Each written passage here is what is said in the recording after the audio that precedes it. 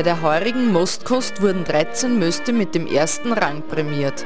Beim Tanzerwirt trafen sich die Mostbauern und Besucher, um den jungen Most, die Landessäure der Oberösterreicher, zu verkosten. Bei Musik, einer guten Jause und in gemütlicher Runde wurden die jungen Möste probiert.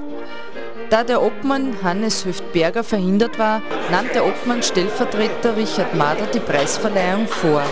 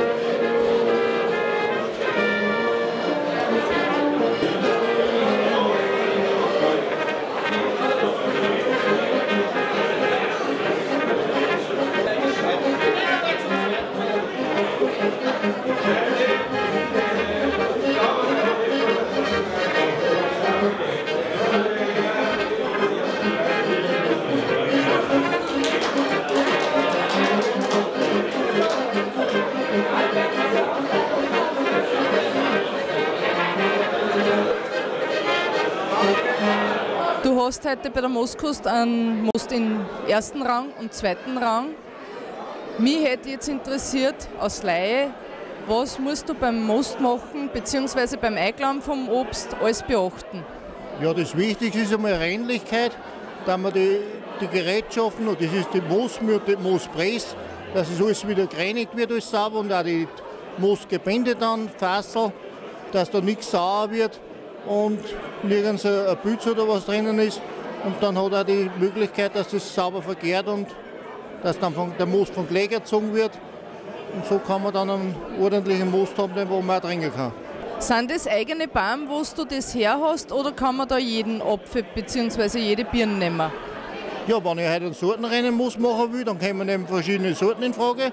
Aber das, der Großteil, was auf der Moskos da ist, das sind Mischlingsmöste, wo es angeht, wo das ja die Drahtbirne ist, die Fraubirne oder die steirische und Öpfel dazu. Das wird miteinander dann verarbeitet und das ist dann sein Produkt.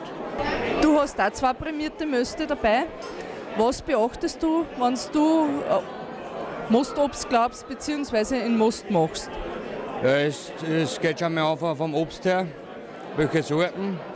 Dann ist die Sauberkeit, Reinlichkeit beim Glauben schon und dann beim Pressen, dass sofort den Keller bekommt, ins Fass rein, zur Gärung. Ja, und dann muss er reifen im Keller. Wie lange braucht ein Most von dem Zeitpunkt an, wo du das Obst zusammenklappst, bis das zum Verkosten ist?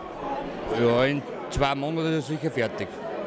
Du bist auch bei den prämierten Möste dabei. Wie lange brauchst du, um das Obst zu glauben, Most zu machen und wer hilft alle mit? Ähm, bei uns hilft da die ganze Familie mit und Obstglauben selbst ist ja eigentlich, da gibt es kein, wie lange man braucht, sondern das ist man, die Arbeit, man Birnen gar ist man fertig. Also da gibt es keinen Zeitbegriff, wie lange man braucht, aber eigentlich nie angestoppt. Und ja, wir dann selber persönlich äh, bei uns nicht im Haus Muster machen. Wir fahren zum Fischerleitner aus und lassen Most machen. Und dann wird der Most einen, Tag abgelagert, äh, dass er vom Kläger wegkommt und dann pumpt man erst den Köller runter. Und die Zeitaufwand, das ist für mich einfach alles, äh, ja, es ist ein Hobby und da fragt man nicht, wie lange man braucht. Also das, weil ich kann da nicht sagen, ich brauche jetzt eine Stunde oder, oder zwei Stunden, weil das einfach, wenn man, fährt, wenn, wenn der Most nicht kalt ist, ist man fertig. Du hast gleich drei prämierte Möste da. Jetzt wollte ich fragen, was sind das für Möste?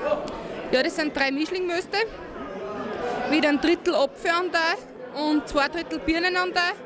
Und er ist aromatisch zum Trinken, ist säuerlich, also hat einen guten Säuregehalt und doch ein bisschen, teilweise ein bisschen süßlich noch, wie nicht ganz ausgegoren ist. Ein Restzucker und durch das ist er bekömmlicher und es ist einfach geschmackig zum Trinken. Durch das ist auch erster Preis geworden. Wie wird man Cidermaid? Ich bin bei der Landjugend im Bezirk Christkirchen ziemlich aktiv. Und nachdem die, in, also das Landl da bei uns das Mostlandl ist, äh, haben sie sich gedacht, durch also eine gute Werbung machen und äh, Cider, also Cidermaid küren. Ich bin jetzt schon die zweite Cidermaid. Und also sie möchten einfach mehr Werbung für den Most machen und mehr unter die Leute bringen. Und durch das bin ich das geworden. Wir hoffen auch in Zukunft auf eine gute Mostobsternte, um weiterhin junge Möste verkosten zu können. Ja,